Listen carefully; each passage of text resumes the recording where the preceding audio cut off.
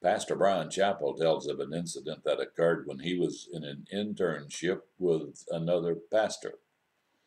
He said that they were sent to a place in the city where that they were to put up drywall, and they were having to hurry. They had to stay ahead of those who were taping and those who were painting. A man dropped a nail and he just stopped. And Bryan said he thought, why did we stop? And he asked the man, why did we stop? Well, I dropped a nail, said the man. Bryan said, we have plenty of nails. The man said, yes, but I prayed about that one.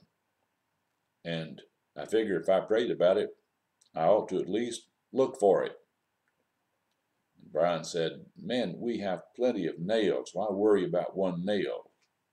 And he said, Well, the Lord tells us that we are to, in all things, let our requests and supplications be made known to the Lord, and he will bring peace to us.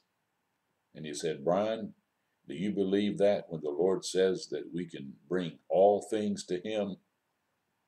And Bryan Chapell said he stood properly chastised.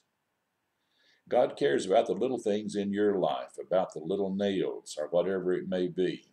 There's nothing too large for God's attention. There is nothing too small for God's attention. I don't know what you're facing today. Maybe it's just a little nail. But take it to the Lord because God also cares about those little things in your life. Thanks for watching Don Howell, today's Light and Love from Liberty.